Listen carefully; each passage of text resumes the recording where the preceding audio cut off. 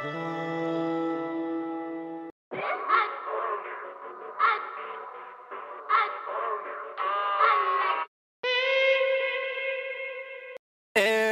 hey, yo, my girl, it's time. Try to push it back like you wanna.